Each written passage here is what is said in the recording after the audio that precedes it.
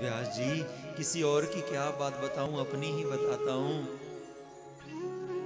मेरे पिछले जन्म में मैं एक नौकरानी का बेटा था। एक दासी का बेटा था मैं। मेरी माँ लोगों के घरों के बर्तन झूठ मांजती थी।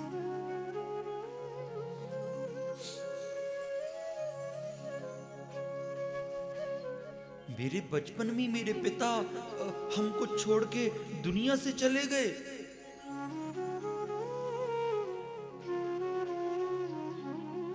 सुनो, व्यास जी, हम कितने अमीर थे, मैं आपको बताऊँ, कितने तगड़े थे, हम कितने अमीर थे। मेरी माँ किसी के घर के बर्तन मांज के पत्तल के ऊपर जो लेके आती थी ना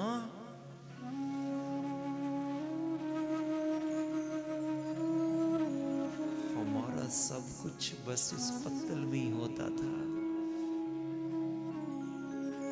एक बार खा करके ये पता नहीं होता था कि अब शाम को ये मिलेगा या नहीं मिलेगा, ये पता नहीं। इतनी अमीरी थी अपने घर।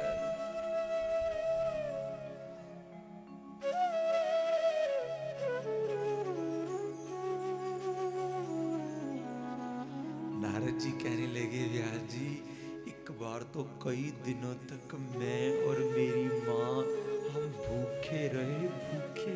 मेरी माँ से किसी ने बर्तन नहीं मंजवाए, हमें कुछ नहीं मिला खाने को।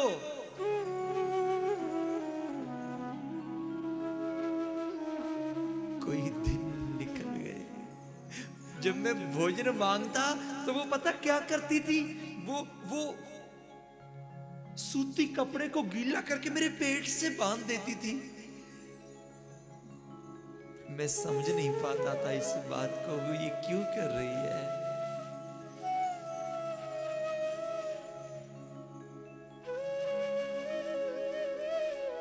इतनी तकलीफ़ थी हम, हमारी ज़िंदगी में इतनी तकलीफ़, इतनी वेदना थी। मैं क्या बताऊँ, मेरी माँ भीख भी मांगती तो वो उन दिनों में तो उसको भीख भी नहीं दी किसी ने।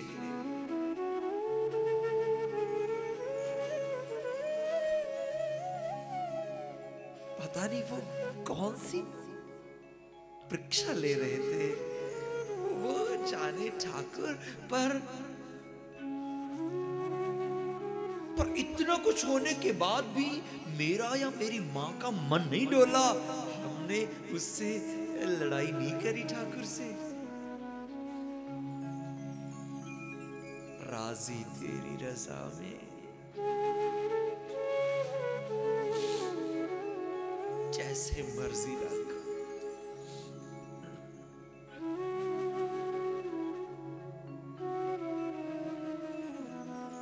फिर कृपा करी गोविंद ने, हमारी ज़िंदगी में एक संत आ गए, एक संतों की मंडली हमारे गाँव में आ गई।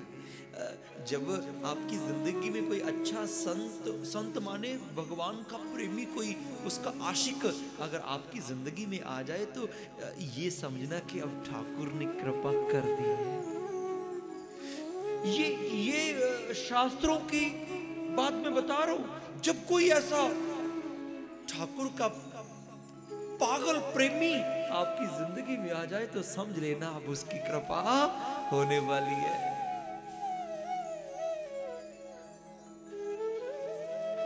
संत आए। नारद जी कहने लगे, मैं और मेरी माँ उनकी सेवा करते थे।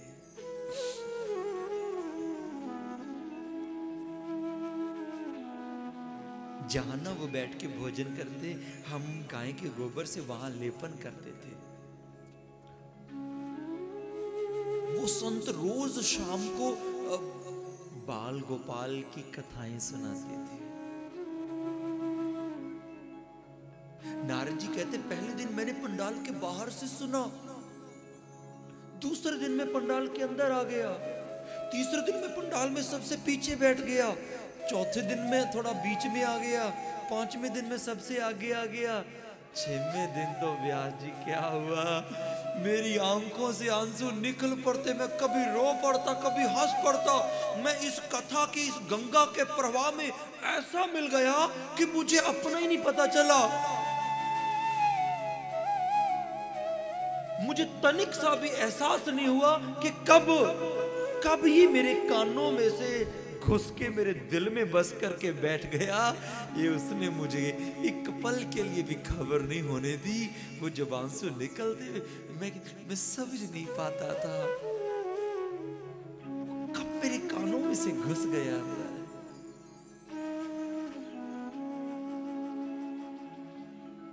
एक दिन उन महापुरुषों ने मुझे अपने पास बुलाया।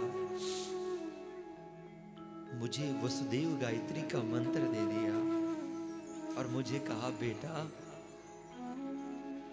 इस मंत्र का जप करना।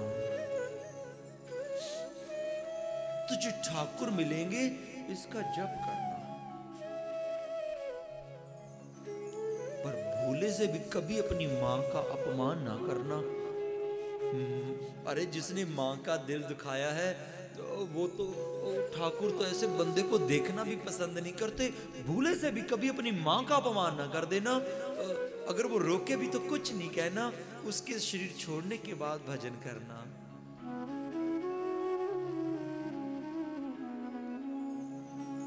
संतों ने मंत्र दे दिया।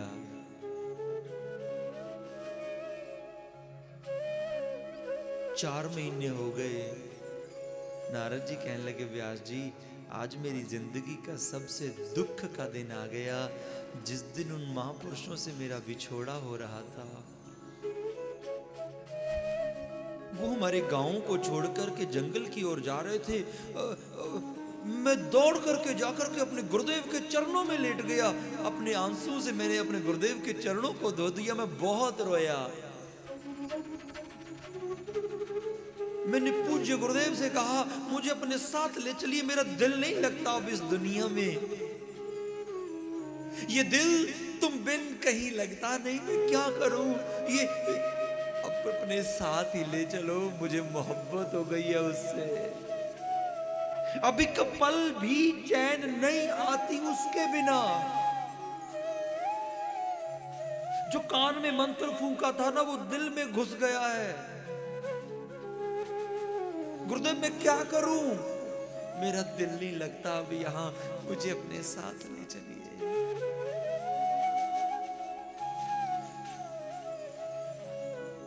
नारद जी कहने लगे मैं बहुत रोया। मेरे गुरुदेव ने अपने चरणों से मुझे उठा के छाती से लगा लिया।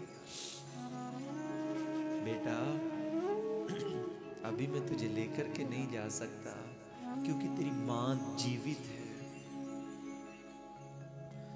तेरी माँ दुनिया से चली जाए, मेरे दिए मंत्र का तू जप करना, मैं तुझे आशीर्वाद देता हूँ। ये गुरु का आशीर्वाद है कि तुझे ठाकुर मिलेंगे। ये गुरु गुरु का आशीर्वाद मैं चित्त से बोलता हूँ कि तुझे ठाकुर मिलेंगे। नहीं, कभी कोई गुरु ऐसे बोलता नहीं है। क्योंकि उसकी प्राप्ति दुर्लभ है। सर पे हाथ रखा और संत चले। कुछ दिनों के बाद, नारद जी की माँ को सांप ने डस लिया। संस्कार करके नारद जी जंगल में चले गए। जो मंत्र दिया तो उस मंत्र को जपने के लिए बैठ गए। जपते रहे जपते रहे जपते कोई साल हो गए। एक दिन जब आँखें बंद करे ध्यान में बैठे थे, मंत्र चल रहा था तो नारद जी को ऐसा लगा इतनी रोशनी दिखी ध्यान में, इतना प्रकाश दिखा, जैसे कई सारे सूर्य निकल आए हों। प्रसन्न हो गया मन, शायद मेरे गोविंद, मेरे ठाकुर, अरे मेरे प्रभु, वो वो वो ना, वो आने वाले हैं। आज आज जैसे ही उनके दर्शन करने के लिए अपनी आँखों को खोला, वो सारा प्रकाश चला गया। आकाशवाणी हुई, नारद, अभी मेरे दर्शन नहीं होंगे तुझे। क्योंकि अभी तेरा मन इस दुनिया में फंसा हुआ है। नारद जी कहते, मैं बहुत रोया। मैं बहुत रोया, भगवान नहीं आए।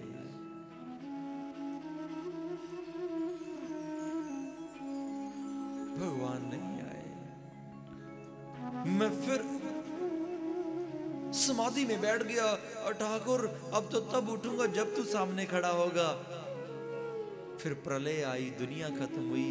जब दोबारा मेरा जन्म हुआ, मैं एक नौकरानी, एक झूठ मांझने वाली का बेटा उससे आशकी कर बैठा था ना तो उसका नतीजा क्या निकला? आशकी का रिज़ल्ट ये निकला कि अगले जन्म में मैं किसका बेटा बन गया? मैं ब्रह्मा का बेटा बन गया, विधाता का बेटा बन गया। मेरे बिना मांगे ठाकुर ने नीचे से बिल्कुल ऊपर पहुँचा दिया।